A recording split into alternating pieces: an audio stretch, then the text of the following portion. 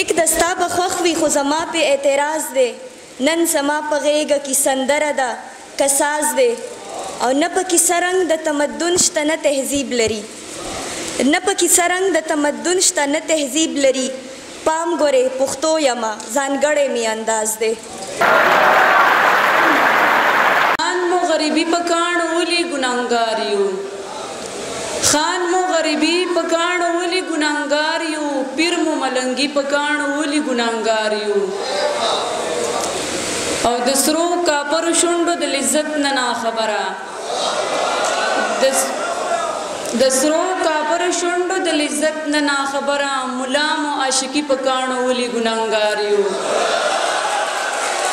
مننه سرور د میخانې کله په موږ د شیخ پیرزو شي سرور د میخانې کله په موږ د شیخ پیرزو شي جامونه د ساقي په کاڼو ولي ګناهګار یو او زموږ د لیونتوب عظمت ته چرته څوک کتې شي زموږ د لیونتوب عظمت ته چرته څوک کتې شي موږ خپل او هم پردي په کاڼو ولي ګناهګار یو او د کلی خلک غون شو د ځنګل په لوري راغلل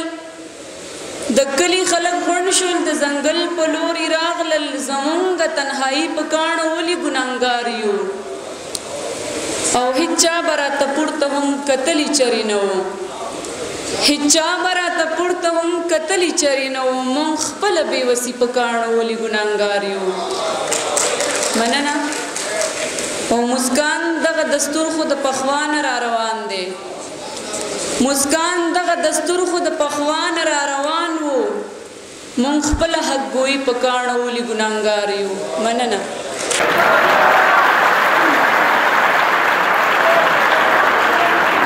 نشته اها او د واوا قصه ده شعر خو پخوا چرته کیسه ورکړي او خلک شهرت د پاره لوټي پښتو خلک شهرت د پاره لوټي پښتو ما د پښتو شعر له حیا ورکړي غزل دی چی د رواج په زنځیرونو یم تړلی پښتنه یم د رواج په زنځیرونو یم تړلی پښتنه یم هر اندام اندام می وای چې دا ولی پښتنه یم د حیا په تار ګنډلی زما شونډې بندې بندې د حیا په تار ګنډلی زما شونډی بندی بندی د خپل ژوند په فیصله کی زه یم غلی پښتنه یم د دوران سیلی می زلفی سپوری سپوری کړلی سپینی د دوران سیلی می زلفی سپوری سپوری کړلی سپینی چا په زور دی وختونو ته تړلې پښتنه يم خو زما لاش په ځمکه پروت دی خو هیڅوک مې ذمه نه اخلي زما لاش په ځمکه پروت دی خو هیڅوک مې ذمه نه اخلي چا بې رویه بې ګودره یم وجلې پښتنه یم په خپل کور کې په خپل مال کې یم د بل لاسو ته ناسته په خپل کور کی په خپل مال کی یم د بل لاسو ته ناسته زه په هر دور په هر حال کی سوځیدلی پښتنه یم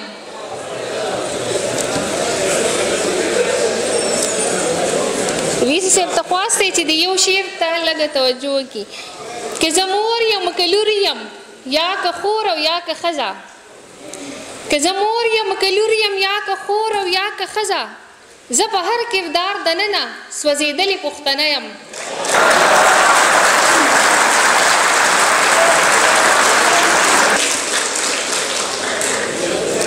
که زه مور یم که لور یم یا که خور او یا که ښځه زه په هر کردار دننه سوځېدلې پښتنه یم.